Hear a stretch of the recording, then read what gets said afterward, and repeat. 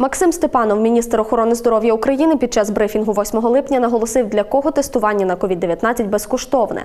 Це люди з ознаками коронавірусу, контактні особи з інфікованими, пацієнти, які потребують планової операції, медичні працівники, які працюють із ковідними хворими, тестуються раз на 14 днів. Також працівники Нацполіції, Нацгвардії по визначеному переліку, які контактують із великою кількістю людей, тестуються раз на 30 днів. Якщо це є е, таке бажання людини протестуватися, то відповідно без направлення лікаря е, він не може цього зробити в державних закладах. Він може прийти і зробити це по угоді, тобто платно.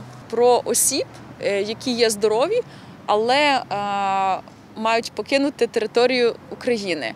Значить, також таке питання виникало. Такі особи вони не відносяться до жодної з категорій, яких я озвучила.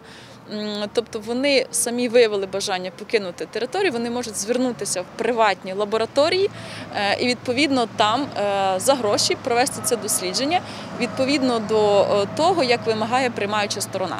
Нагадаємо, наразі в Закарпатті функціонує 5 лабораторій, які здійснюють тестування на COVID-19. Три державні це державна установа Закарпатський обласний лабораторний центр, Закарпатський обласний центр громадського здоров'я в Ужгороді, а також Мукачівська районна лікарня. Крім того, працюють дві приватні лабораторії, де населення може пройти за зверненням тестування методами ПЛР та ІФА.